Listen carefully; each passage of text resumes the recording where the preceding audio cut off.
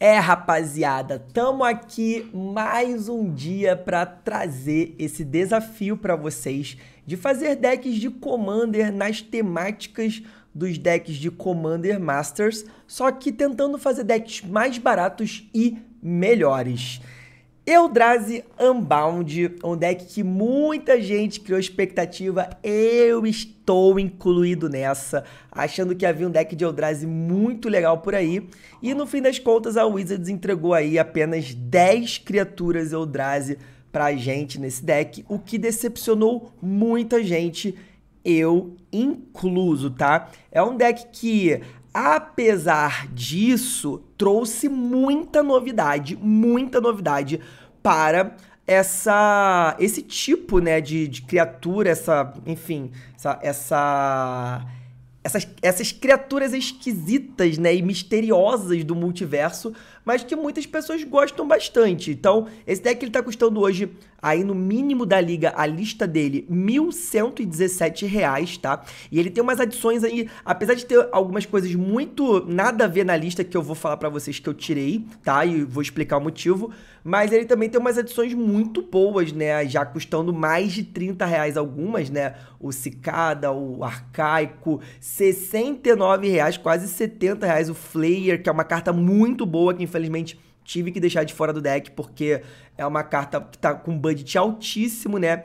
E algumas mágicas novas também super relevantes nesse deck que também estão com preço muito, muito elevado. A minha esperança de verdade é que esses preços não se sustentem e que essas cartas novas do Eldrazi caiam um pouco de preço, mas eu já vou aqui deixar bem claro para vocês, tá? Se vocês quiserem hoje montar um deck de Eldrazi bom, é, e, cara, ter aí as melhores cartas de Eldrazi, ter bastante Eldrazi no deck, gente, não tem como montar um deck de Eldrazi budget, assim, sendo muito sincero. Principalmente se for um deck incolor. Como o desafio aqui é montar um Zulodok, então esse desafio de montar um deck incolor sem os principais Eldrazi, né, que são caríssimos, todos aí por volta de, cento, de entre 100 e 150 reais, é, é um desafio que infelizmente acaba deixando o deck um pouco abaixo dos outros, tá? E, na minha opinião, tá? A gente conseguiu aqui, eu vou mostrar para vocês, aumentar um pouco o número de Eldrazi, mas não conseguiu aumentar muito, porque existem muitos Eldrazi, principalmente por causa ali de Lua Arcana, né? É, que trouxe os Eldrazi dentro de Nistrad, que tem algumas habilidades, inclusive, muito legais, mas são Eldrazi coloridos, né? A própria... A própria é, Batalha por Zendikar, né? É, Juramento das Sentinelas, foi a última vez que a gente teve em Zendikar que lutamos contra os Eldrazi. Também teve alguns Eldrazi que, apesar da habilidade The Void, né? Deles não terem cor, eles têm ali a a cor no, no, custo. Então eles acabam não podendo entrar nesse deck. Então realmente foi um desafio muito grande. para mim, acho que de todos os decks que eu montei até agora. Eu sei que você do Planeswalker deck tá ansioso, ansiosa aí. Vai sair em breve também, já vou gravar esse vídeo. Mas é um, é um deck que, cara, trouxe muito desafio para mim, para ser muito sincero. Tanto que, no fim das contas, foi um deck que ficou custando 509 reais, tá?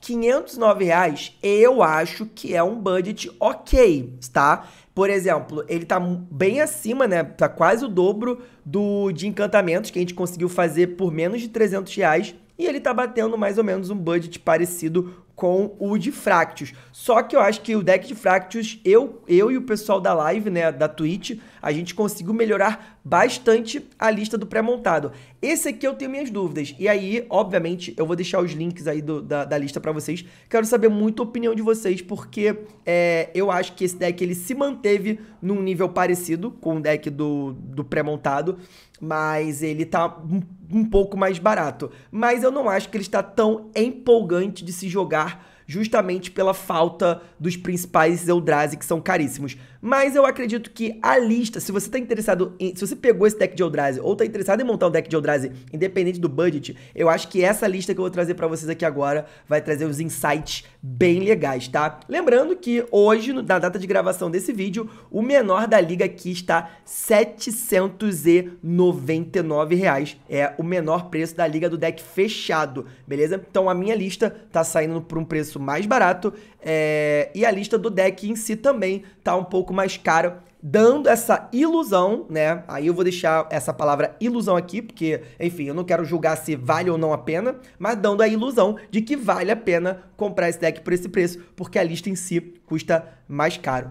Beleza? Lembrando aqui, aproveitando essa propaganda maravilhosa da Epic Game na Liga Magic, né? Se vocês quiserem comprar alguma dessas cartinhas avulsas que eu coloquei aqui no deck para melhorar o seu deck, vocês podem dar um pulinho lá na epicgame.com.br. O link tá ali no cantinho, tá? Vocês usando o cupom PLANINAUTA, vocês têm 5% de desconto na compra aí das cartas avulsas de Magic, beleza? Então vamos lá. Estou aqui no site da Moxfield, site bacaníssima, né? A gente manteve o Zulodok como comandante, mantivemos o Gin porque tem um preço muito bom e esse, esse carinha cai como uma luva aqui, né? Ele diminui o custo das mágicas altas, o que por um lado é, é ruim, porque se você tiver uma mágica que custa 7, com o Gin na mesa ela vai custar 5. E aí, apesar de você fazer ela mais rápido, né, com menos mana, mas também você não faz a habilidade do Cascata. Mas é uma ali uma, uma faca de dois legumes, né? Você vai ter que escolher o seu antídoto e o seu veneno, o que, que é bom, o que, que é ruim. A gente manteve aí Crashing Down Bridge, porque apesar de ser uma, uma barreira, defensor, não propõe muita coisa, ela pode te proteger de, contra alguns decks agro no, no early game e ela dá ímpeto pros, pros bichões. E, cara, isso é muito importante nesse deck, porque imagina só você fazer dois, três Eldrazi num turno só, com a cascata e tal, e, cara, eles já entrarem batendo, isso é muito forte, tá?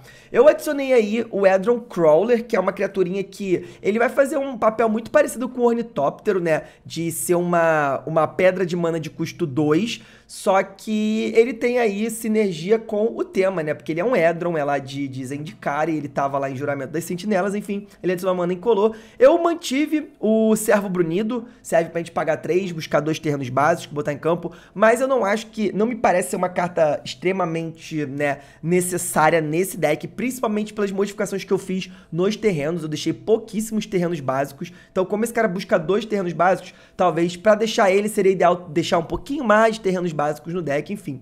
Cara, Liberator, esse cara aqui, ele vai cumprir uma, uma função igual a do Skittering Cicada, que é uma carta nova, né? Ele vai dar flash para as mágicas de artefato e para as mágicas incolores. E é muito importante isso porque, cara, a partir do momento que você tem flash nos seus bichos absurdamente grande, cara, fica muito mais difícil dos seus oponentes lidarem, né? Você faz isso no passe vindo pro seu turno e no seu turno você já pode atacar os outros.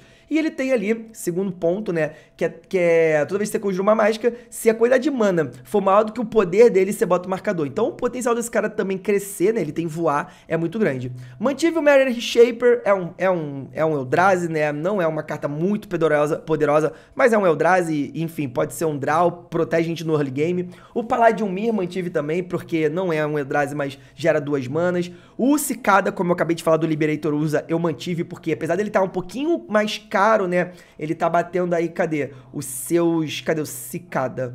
Ele tá batendo seus 30 34,00, que é um preço elevado, mas eu resolvi mantê-lo, ele e alguns outros Eldrazi com preço um pouco mais elevado, até para não perder também muito, né, dessa questão da, da qualidade do deck. Simulacro Solene, muito bom, mantivemos, né, pô, ele é um ramp, depois te compra uma carta. Golem do Geodo, muito bom também para você colocar o seu, seu comandante na sua mão quando, de repente, alguém já, já matou ele uma vez e aí, cara, custa muito mais, né. O Kozilek Channel eu trouxe aqui porque, sim é um Eldrazi, é um bicho, querendo ou não, um bicho grande, né? 4-4. E vira adicionando duas manas é, incolores à sua reserva de mana. Então, te ajuda aí a fazer suas mágicas grandonas e é um Eldrazi. Conduite da Ruína, mais uma carta que eu trouxe, que é uma carta baratíssima, baratíssima. É o custo 655. Quando você conjura ele, você pode procurar no seu Grimório por uma criatura é, incolor com custo de mana convertido 7 ou maior e revelar, depois colocar é, no topo do seu Grimório. E aí, lembra, né? Cascata, né? É, e a primeira mágica que você conjura a cada turno custa 2 a menos. Então você pode, cara, pegar os bichões lá de 12, 11, 10 manas botar no topo, fazer eles custarem 8, 7, ainda ter a cascata, né, e diminuir um pouco. Duplicante eu mantive porque ele entra e exila uma, per, uma, uma permanente, é isso? É, entre os debates, meio exato, non-token creature. Ele exila uma criatura que não seja token, que não seja ficha. Então, querendo ou não, é, é, um, é um, mais uma remoção aí, né? Endbringer, pra mim, cara, não tem como deixar esse cara de fora, né? Ele vem na lista original e eu colocaria ele se ele não viesse, porque ele é maravilhoso, tem muitas habilidades, né? Compra a carta, é, a criatura não pode atacar ou bloquear e, e ainda causa um de dano a criatura ou, play, ou o jogador e ele desvira todo turno, né? Oblivion Sour custa 658 quando ele, quando você conjura ele, o oponente exila quatro cartas do topo do Grimório e aí você pode colocar qualquer número de terrenos que ele, que ele possui do exílio no campo de batalha sob seu controle. Esse cara não é lá grandes coisa, não é que, ó, nossa, esse cara é muito bom para rampar, né, Thiago? Cara, whatever, assim, de verdade, ele é só mais um Eldrazi grandão e que ele pode cair na cascata, né? Então, você tá conjurando uma mágica de custo 7, ele vem na cascata junto aí e é um bichão grandão. Lembrando que a cascata você conjura também, então vai fazer o efeito. É, Alma de Firex, da nova Firex, mantive, né? Pô, custo 666, dá indestrutível para as permanentes, então, tanto na, no campo quanto no cemitério, então, muito boa. Hellkite também, cara, é uma forma de destruir permanente ali, né? Querendo ou não, não tem muita, muita, assim, é, é, não tem muito a ver com o deck na questão do de, de, de ser do, de ser Eldrazi, essas coisas, mas, cara, é isso. A gente tem que arranjar soluções criativas e esse é muito viável pelo preço. Bane of Balaged, custo 775, toda vez que ele ataca, o jogador defensor exila duas permanentes que ele controla. E aí esse carinha aqui junto com Oblivion, ele vai até ter, ter uma certa sinergia, né? Porque às vezes esse cara entra mais pro mid, late game, e aí seu oponente vai exilar terreno, ah, sei lá, o cara, a pessoa tá com 10 terrenos aí, não, dá pra exilar dois terreninhos aqui no ataque desse cara, e aí quando você faz o Oblivion, você pode voltar esses terrenos do exílio pro seu campo de batalha. Deceiver of Form, esse cara é muito, muito legal, muito legal, e não é caro, que é mais legal ainda. Custo 788, é, no começo do combate, no seu turno, revela a carta, a carta do topo do Grimório, tá? Se for uma criatura, se uma criatura for revelada dessa forma, as criaturas que você controla, é, sem ser ele, né, viram uma cópia daquela criatura até o final do turno, e você pode colocar aquela carta no fundo do seu Grimório, se você quiser. Gente, imagina você ter suas criaturas virando uma cópia de uns bichos aqui com aniquilador quando ataca. É surreal. E aí você pode transformar os outros bichos que não são, né? Uh, é, Eldrazi, que entraram no começo de jogo e tal, duplicante, uh, Hellkite, o Geode Golem, Ornitóptero, como uma cópia de algum Eldrazi boladão, né? O próximo é o Meteor Golem, acho que ele vem no deck, né? E, pô, não tem por que tirar, é um custo 7, dá cascata cascata, é, e ele destrói uma permanente que o oponente controla, então é uma, mais uma remoção. Breaker of Arms, ele, ele é muito bom, porque é um, é um 10 barra 8, custo 8. Todas as criaturas aptas a bloquear esse cara são obrigadas. Então, se o oponente tiver ali é uma mão, uma, um campo de batalha cheio de token, cheio de bichinho, né? Pra se proteger, esse cara acaba tirando esse bicho da frente, você podendo bater com as outras coisas. O Lamog's Crusher, custa 888, Aniquilador 2, e ele ataca todo turno que tiver apto. A gente quer atacar com esse cara todo turno se tiver apto. Se gente, esse, esse, é, Aniquilador é o seguinte, quando ele ataca, o jogador defensor sacrifica duas permanentes. Cara, se você não quer atacar com 88 que faz isso todo turno, é porque você tá bem mal no jogo, né? Então, é, é isso. Artesã de Kozilek, artesão de Kozilek, custa 9, 10, 9. Quando você conjura, você pode devolver uma criatura do seu cemitério pro campo de batalha. Tem Aniquilador 2, muito forte, pode devolver um, um, o golem do meteoro, por exemplo. É, mão de Janraku, custo 977. Quando você, é, você pode sacrificar 4 Eldrazi Spawn ao invés de, de congelar a mana dele. Eldrazi Spawn era um token muito comum, né, na primeira Zendikar, né, no primeiro bloco do Zendikar, que são aqueles tokens 0-1 de Eldrazi que você sacrifica para gerar uma mana incolor. É, seria eu, eu procurei bastante por alguma coisa incolor que tivesse geração desses bichos, alguma forma de gerar. Encontrei um feitiço de custo 7 que geram 5 desses bichos, eu não gostei, não coloquei no deck. Mas se você achar que vale a pena aí até para fazer outras habilidades aí, talvez valha a pena você pesquisar aí, tá? E tem um Aniquilador 1. Mantive o Ancient Stone Idol, né? Custo 10, 12, 12. Flash, custo 1 a menos pra cada criatura atacante. Atropelar, quando morre, ainda deixa um 6, 12 pra trás aí. Não, não me ofende também. Kozilek, aí, cara, aqui eu tive que fazer uma escolha, né? Kozilek e Aquilo que Trai são duas cartas muito, muito absurdas. A gente poderia deixar esse deck muito mais barato se a gente tirasse eles dois, tá? Inclusive, cadê? Aqui, ó. Eu deixei eles dois. O Kozilek tá 42 hoje, né? 43. E o, e o Aquilo que Trai uns 45 reais. É óbvio que você, se for comprar na loja perto, etc e tal, você não vai acabar comprando esses caras por uns 50, 60 reais, talvez. Se pegar da mão de jogadores, aquela, aquela, aquelas cartas mais usadas, talvez você consiga até pegar por menos sei lá, fa faz um bem bolado com os amigos aí, com algum conhecido, troca umas cartas, consiga pegar por menos, tá? Mas eles são duas cartas que são muito fortes, muito importantes. Kozilek vai custar 10, 12, 12. Quando você conjura ele, se você tiver menos de 7 cartas na mão, você compra a diferença, então vai encher sua mão de carta. Tem ameaçar e tem a habilidade de descarta uma, uma carta com valor de mana X e anula a mágica de valor de mana X. É surreal, é muito forte, muito forte. Tem, gente, tem muita gente que já usa esse cara de comandante, por exemplo. E aquilo que trai é um custo 12, 11, 11, Aniquilador 2, e quando o oponente sacrifica uma permanente, não seja um token, você pode colocar aquela carta no campo de batalha sob seu controle. É idiota. Então, assim, por mais que essas duas cartas juntas dê quase 100 reais, então, por exemplo, se a gente tirasse essas cartas, a gente cairia esse deck de 500 para uns 400 e pouquinho, é, é, ainda assim eu acho que vale muito a pena deixar essas cartas porque elas são muito boas.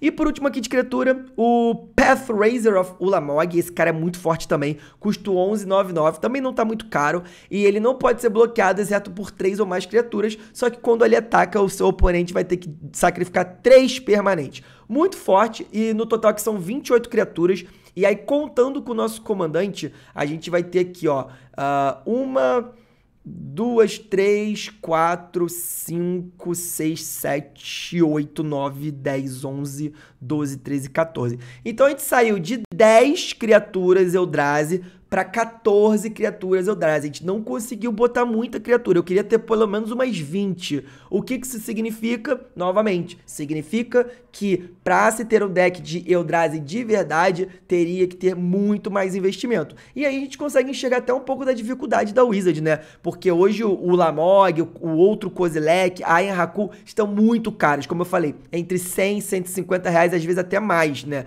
E botar essas cartas nesse deck, apesar de, ser, de ter sido uma coisa maravilhosa e, e fazer muito sentido pela, por conta da, do preço desse deck, né? 800, 900 reais, teria sido muito válido ter essas criaturas de 100, 150. Ao mesmo tempo, isso elevaria o preço desse deck absurdamente. E seria muito provável que depois da lista re, re, é, revelada, né? A gente dificilmente encontraria esse deck por menos de mil reais na loja. Então, gente, tudo tem assim seus dois lados, sabe? É complicado demais isso. Continuando, temos dois feitiços, tá? Um não tinha, acho que, introdução à aniquilação, custo 5 exila a permanente que não seja terreno alvo, e seu controlador compra uma carta. Não tem essa carta no deck, eu não sei porquê, porque é, é um custo 5 exila permanente alvo, né? A, podia ser instantânea, mas é feitiço. O Aulis Dust, que é uma carta que é carinha também, mas não tem como não tirar do deck, acho que tá 20 e poucos, 30 reais. Cada jogador sacrifica todas as permanentes que eles controlam, que são uma ou mais cores, isso aqui é absurdo no nosso deck.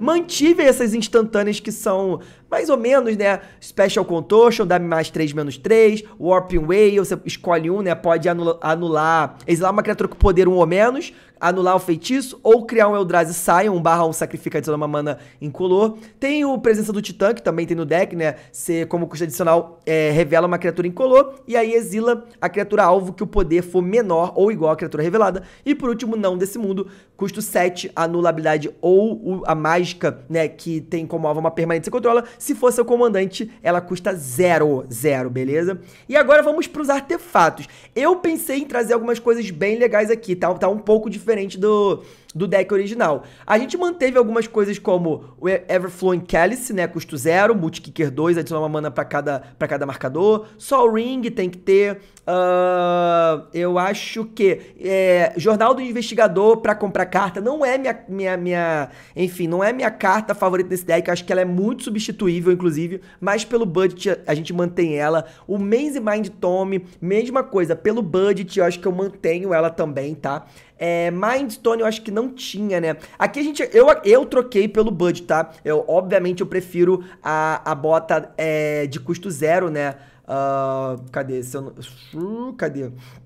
a bota Grevas Fascantes. A Grevas Fascantes é muito melhor do que a Swift Boots, né? Mas tá 24 reais, enquanto a, a, a Swift Boot tá tá 4 reais, né? Então, assim, pelo custo de você equipar com uma mana ao invés de zero, é, é, o, é a diferença do budget que faz, né? É, se eu não me engano, acho que Mirror Maid também tem, né? Uh, varinha transmogrificadora também mantive, né? Pra destruir criaturas. Você consegue destruir. É, ele entra com três marcadores, então você consegue destruir três criaturas aí ao longo do jogo. É, obelisco também para rampar, mas você também consegue no final do jogo sacrificar para destruir uma permanente. É, Warning Power Stone acho que tem no deck, né? É mais fácil eu pegar pela lista aqui dos artefatos, ó. Mantive o cálice, mantive o anel. Esse Atlas do Infinito eu tirei, é para comprar carta, tem coisas melhores. Diário eu mantive, Grevas eu substituí por uma, pela uma carta bem mais barata. Pedra da Mente mantive, muito boa. Receptáculo eu substituí, mas eu acho que você pode manter também. Ele tá bem mais barato, ele, essa carta já bateu quase 20 reais. Agora tá ali por volta dos seus 8 reais. Dá para se manter também, eu gosto, mas eu não sei o qual o potencial desse deck comprar tanta carta assim para precisar de um receptáculo, mas querendo ou não, é um ramp de custo 2, né? Tomo eu, eu mantive, o espelho eu mantive. Cara, Jorra, Jorra Fogo eu tirei. Eu não, não entendo muito bem para que deixar uma carta dessa. Ah, nossa, imagina eu dar 10, 10 batendo duas vezes. Eu entendo, eu entendo o poder que isso causa. Mas honestamente, eu prefiro trocar por algo que, por exemplo, ou me proteja, ou me dê draw, uh, ou proteja meu, meu, meu, minhas criaturas. Eu não sou muito fã dessa carta nesse deck e realmente não gosto. Se você tiver um argumento bom para manter ela, como sempre, eu peço que deixe nos, nos comentários, não só para me ajudar, mas para ajudar outras pessoas também que querem montar esse deck. Obelisco mantive, né? É, pedra, aí que o Powerstone mantive, custo 3, adicionando duas manas entre campo de batalha virado. A varinha que destrói bicho eu mantive. O arquivo do Edron, custo 4, adicionando duas, você sacrifica ele para comprar duas cartas eu mantive também. A Perilous Vault eu mantive. Dínamo dos Trans eu mantive também. Forja Mística, muito boa, mantive. São cartas aí que, infelizmente, estão já batendo ali os seus 15 reais. Podiam ser mais reprintadas. São cartas boas, mas que podiam valer seus 10 reais, por exemplo.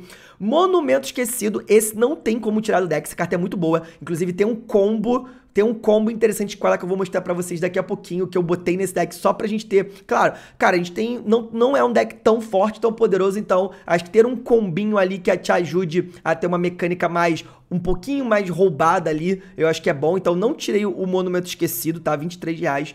Podia ficar um pouquinho mais barato também. O Edro da, da Pedra Onírica, que adiciona 3 mana, sacrifica e compra 3 cartas, também mantive, gosto. E a Caldra completa e o Darksteel Monolith são duas cartas que eu considero muito boas eu não tiraria do deck se você comprou pré-montado, eu não tiraria elas, mas eu não coloquei no deck, porque a Caldra está 33 reais, e apesar de eu achar ela uma carta muito boa, eu acho o valor um pouco elevado, tá? Pelo que ela faz, tá? E o, o Dark Steel Monolith está 140 reais. Eu honestamente acho que ele vale esse preço, tá? Aqui, se você acha que eu sou louco e tal, beleza, mas eu realmente acho que esse esse artefato vale 140 reais, porque ele é muito, muito bom. Ele é um custo 8 indestrutível, que todo turno, uma vez por turno, a cada turno, você pode pagar zero, em vez de pagar o custo de mana das mágicas incolores que você conjura da sua mão. É surreal, é muito forte. E por último tem esse encantamento do Gin, que eu acho que por 40 reais quase também não valia a pena botar nesse deck. E aí o que, que eu botei extra, né? Cara, Expedition Map. Expedition Map é um, é um, tipo de carta que eu não gosto muito, porque ela busca a carta e bota na sua mão, ao invés no campo de batalha. Só que ela busca um, um, terreno, um terreno qualquer, não é terreno básico. E aí, cara, esse é um deck que é cheio de terrenos com habilidades. Então você pode tanto fazer isso para buscar esses terrenos com habilidades, como, por exemplo, para fechar as, pe as peças do Urza. A gente vai, vou mostrar mais para frente. Tem três aqui é, é, terrenos do Urza, né? Que você juntando os três, você consegue gerar um total de sete manas. Wayfarer's Bubble, né, que você traz o terreno básico para o campo de batalha, para mesa, né? Vai ter Moon Silver Key, que vai te ajudar a buscar os seus artefatos ou, ou um terreno básico, né, que normalmente não vai ser isso que a gente vai buscar, mas os seus artefatos com habilidade de terreno, e aí você pode buscar buscar alguma peça do combo, por exemplo, se estiver precisando. A Swift Boots, eu já falei, Basalto Monolith é uma das peças desse combo. Ela, ela não desvira durante a etapa de desvirar, é um custo 3 que adiciona 3 manas e você paga 3 para desvirar ela, tá? Mas se você tiver o Forsaken Monument, que faz você adicionar uma mais, né? Toda vez que uma permanente gera uma mana incolor, você adiciona uma, uma mais, ele vai estar tá sempre gerando 4. Então você vira, gera 4, paga 3, desvira. Vira, gera 4, paga 3, desvira. Você, toda vez que você virar ela, você vai ter uma mana a mais. Então você, você consegue fazer mana infinita com essa carta, tá? É, mais uma carta que adiciona mana é o Bonders Ornament e ela te compra a carta também, paga 4, vira cada jogador que controla uma, uma permanente chamada Bonders Ornament, compra uma carta. Normalmente vai ser só você.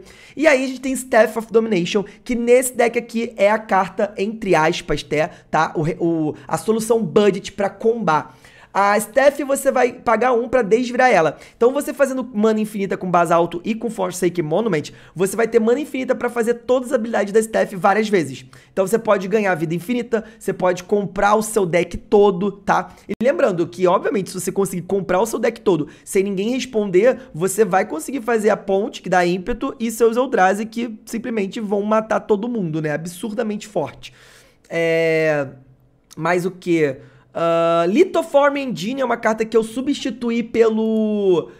Pelo. Pelo esse cara aqui que. Ó, eu não tiraria também o Arcaico. O Arcaico eu achei uma carta muito boa, nova. Mas ele é uma carta de 40 reais.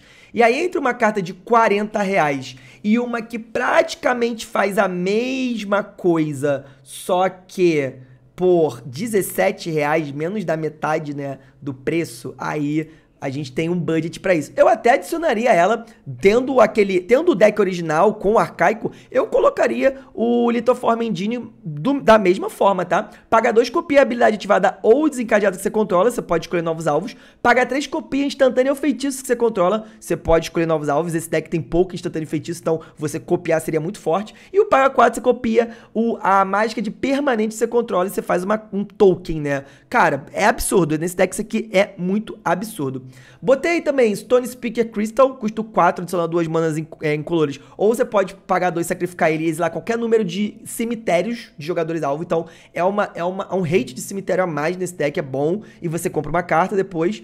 E por último aqui, Mind's Eye, né? Que eu acho que nesse deck cabe bem também. Custo 5. Toda vez que o oponente comprar uma carta, você pode pagar um. Se você fizer, você compra uma carta também. Esse deck vai te gerar muita mana. Então você vai provavelmente ter muita mana sobrando quase sempre o tempo todo. E aí você tem o Mind's Eye na mesa para todo turno, pelo menos comprar mais uma carta por turno de oponente. Cara, é muito forte. Então a base tá aqui. Uh, tem algumas coisas que eu acho que sim pode ser melhorada, outras pode ser testada. Algumas coisas podem ser facilmente modificadas. Talvez o, o investigador, o Investigator Journal, Maze Mind Tome, talvez Stone Speaker, mas a base da, do, dos artefatos está aqui. E para terminar, eu mantive os 38 terrenos, tá? Os 38 terrenos do deck original que joga com 38 terrenos também. A única diferença é que ele tem 30 criaturas, eu tô jogando com 28, né, tirando o comandante, mas eu resolvi deixar só 5 terrenos básicos, 5 wastes, tá?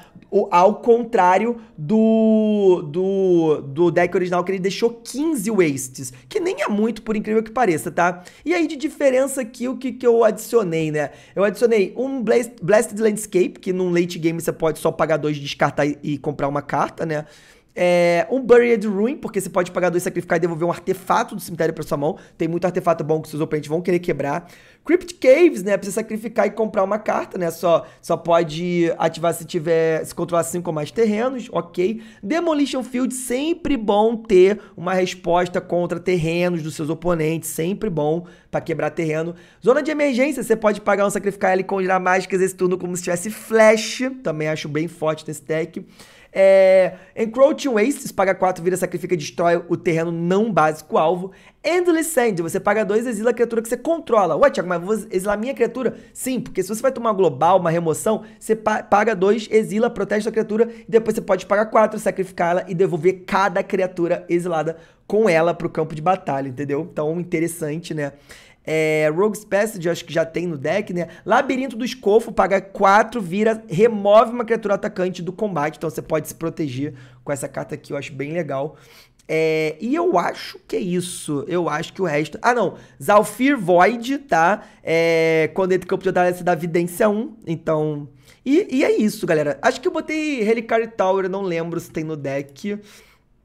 Uh, eu não. Ah, tem, tem. Torre do Relicário tem. E é importante, né? Porque se você vai comprar bastante carta, ela, ela é bem boa, tá? Uh, e é isso, galera. Esse é o deck que eu montei. Vou deixar o link, né? Tanto dessa lista no Moxfield, pra vocês darem uma olhada visual bem bonita, bem legal. Quanto aqui na lista que eu montei também, que acabou ficando aí na Liga Magic por 509 reais. E queria muito que, nesse aqui, eu queria muito a ajuda de vocês para nos comentários me ajudarem. Sugiram aí novas cartas, sugiram aí é, coisas legais para adicionar. Lembrando que aqui também vai ter, aqui nas possíveis, tá? Considering, tem algumas cartas aqui que eu acho legal. Por exemplo, uma balista. Uma balista para fazer o combo de mana infinita, ela é maravilhosa. Você mata todo mundo na hora. Porém, ela é uma carta que tá custando mais de 60 reais. Os Eldrazi antigos também, esses, e esses novos aqui, também custando todos mais de 80 reais. Tem algumas outras coisas bacanas aqui também que são boas, poderia ir no deck, né?